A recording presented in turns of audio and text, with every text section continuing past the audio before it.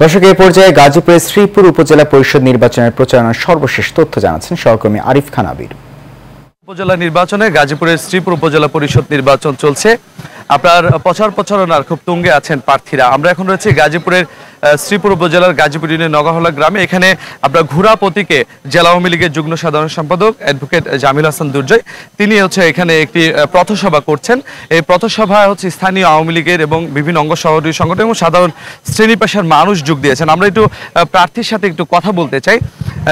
ভাই একটু দাঁড়িয়ে যদি একটু বলেন যে আপনি তো নির্বাচনী প্রচারণা বেশ কিছুদিন ধরে চালাচ্ছেন আজকে গাজীপুর ইউনিয়নে এসেছেন। কেমন মানুষের সাড়া পাচ্ছেন? ধন্যবাদ। এশিয়ান টিভির দর্শকবৃন্দকে সকলকে সালাম, আসসালাম আলাইকুম। আমি দীর্ঘ ২৬ বছর আওয়ামী লীগের রাজনীতির সাথে সম্পৃক্ত আছি এবং মানুষের কাছাকাছি থেকেছি গত গত ২৬ বছর।